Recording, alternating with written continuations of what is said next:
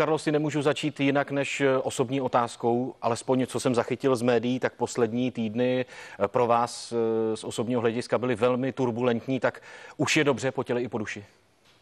Tak já jsem myslel, že jste mě pozvali do pořadu Co Čech, to politik. Rozumím, Dlouho, rozumím. Dlouho, uh, to je jenom jít, protože politice nerozumím. Myslel jsem, že, že se budeme bavit o politice. Já se o tomhle bavit už nechci, protože tady kolega mě na Instagramu nasknul, že rozjíždím jenom ten bulvár, že bych se měl věnovat trénování, takže já se budu věnovat trénování a ten bulvár. bulvár Já jsem se jenom ptal na to, jestli už je dobře po duši, jestli už je lépe. Tak já už na rozdíl od kolegy naplno trénuju, připravuju se, takže já jsem, já jsem naprosto v pohodě. Ruka vypadá, že už je lepší, už Už je můžete lepší. naplno trénovat. Už je lepší. Naplno ještě ne, ale pomalu, ale jistě. Takže fight tady s Marpem bude eh, v tom nejbližším možném termínu? Na nebo? konci května bude. na konci května. Marpo, co vy na to? No hurá, já jsem rád, protože už dva roky na to čekám. Jako samozřejmě k tomu přispěla covidová krize i zranění, za který jako nemůžeme samozřejmě, ale jsem rád, že konečně k tomu dojde. Myslím si, že pak bude muset ještě udělat těch fightů víc, protože pořídit slona je jedna věc, ale on potřebuje taky pořádně velkou zahradu, což samozřejmě v Praze s pozemkama je problém, ale já si rád plním ty svoje dětské sny. Lva už mám, krokodýla už mám, chybí jenom ten slon. Nemyslím si, že to, že to s ním bude úplně jednoduchý. On má, v sobě, on má v sobě to srdce toho bojovníka, akorát, že jak on říká, on se vydělává hudbou, a není stoprocentní zápasník, on se nedok- já nic z něho neznám, já nic z něho nedělám, já se budu stoprocentně připravovat. Na to nemá prostě životní podmínky, zažít to, co živá, eh, zažívá opravdový zápasník, stoprocentně se připravovat. Ale srdce a, jak se říká, zápasnický koule na to má.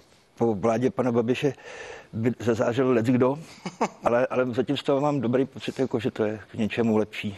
Mm-hmm. Já nevím, mně ten covid už přijde trošku legrační, takže já to asi jakoby ne, neřeším. Dokud mě někdo vyloženě ne to nehází klacky pod nohy. A Nejsme eh, děti eh, našich politiků, že bychom měli mít vlastní jako hlavu a bolbu jakoby vlastního mm-hmm. způsobu, jak k tomu přistoupit. To si myslím jako Takže vy jste vnitřně s tím covidem nějak jste se smířil za ty dva roky, co se stalo, tak prostě to už se vrátit nedá a věříte v nový start. A ten přijde kdy ale?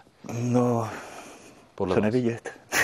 Bude muset. Jste optimista. No já rozhodně, cynik, optimista, ale to, já myslím, že už jako bylo dost, že už prostě musí uznat, že to bude prostě další rýmička z mnoha a konečně přestat jako hy- hysterčit. No. Jako někomu něco nařizovat, to už tady jednou bylo. A myslím si, že to není úplně správné. Jestli někdo cítí, že třeba očkování nechce, tak ať se ho nedává. Jako, mě vadí, že se ta společnost brutálně rozdělila. Jo? Že já to cítím i v kapele. I v kapele prostě se lidi hádají, jako, že ty seš na očkování, jsi blbej a ty nejseš a tohle. Mně to přijde úplně jako na palici, ať si každý dělá, co chce, že bychom si trošku měli každý jako hledět svýho. Že ta společnost je strašně jako naštvaná, mi přijde teď. Nikde ve světě tohle to nemají pod kontrolou. Tady bych trošku nesouhlasil s tím, že je to jenom další rýmička. To, co se děje ve světě, to je jasný. To není jenom další rýmička. To je prostě celosvětový velký problém. Já neznám nikoho, komu by neumřel nějaký blízký, včetně mě, eh, na tenhle ten covid. Je to, je to obrovský problém, který, který eh, rozděluje společnost. Eh, Jestli očkovat nebo neočkovat, to bych nechal eh, na každým z nás. Mě jenom vadí třeba, vidím teďka hodně demonstrací, hodně, hodně protestů. A já, já chápu, všechny, všech se nás ten covid dotýká. Eh, Všem to vadí, mě to vadí, vám to vadí, každému to vadí, ale na těch demonstracích, a viděl jsem jich už hodně, mě chybí jedna věc.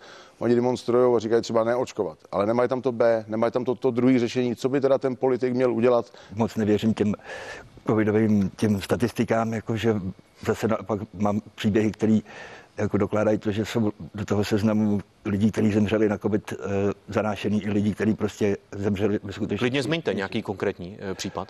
No co já vím, pak... Musíte jmenovat samozřejmě. No, tak jeden eh, starší, eh, snad děda, eh, kamaráda, ten zemřel při autonehodě, akorát v době, kdy se ta nehoda stala, tak měl covid a normálně ho zapsali na ten seznam těch lidí, co zemřeli na covid.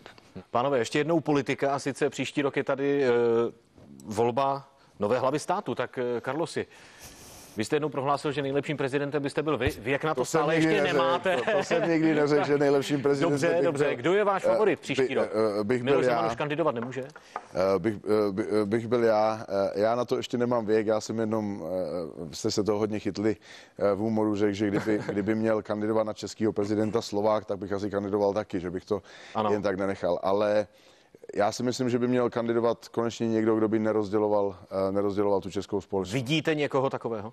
Já ho zatím bohužel nevidím. Ale chtěl bych, eh, chtěl bych, aby jednou kandidoval někdo, koho, koho ty lidi fakt mají rádi, koho opravdu uznávají. Někdo, jako byl Karel Gott, nikdy jste ne, ne, prostě necítili, že on by rozděloval společnost. Někdo, už, už jsme těch lidí, kteří rozdělují společnost, ať už je to Miloš Zeman nebo Babiš, eh, je, jestli je to dobře nebo, nebo špatně, to nebudu komentovat, ale prostě máme tam plno lidí, kteří tu společnost rozdělují. Chtěl bych najít někoho, kdo ji rozdělovat nebude. Kato, váš favorit v boji o hrad? Já svého favorita nemám. Obávám se, eh, že soudě podle toho, že poslední dva prezidenti byli vždycky bývalí premiéři, eh, tak bych se obával toho, že by se tam mohl dostat eh, ten pan Babiš. Ano. A takže já bych apeloval na politiky, ať přijmou zákon, že se nemůže prezidentem stát někdo, kdo se tady nenarodil. Jako Marko, to mají v Americe. S tím Váš, no. váš favorit. A teď bez ohledu na sympatie, kdo myslíte, že má největší šanci? Ty prdo, no já se strašně bojím, že pan Babiš jako se tam bude vehementně spát a že ty lidi budou natolik mimo, že by ho ještě mohli zvolit, což by bylo úplně šílený teda mimochodem, ale já nemám favorita, vždycky i, i v politice já vždycky volím menší zlom.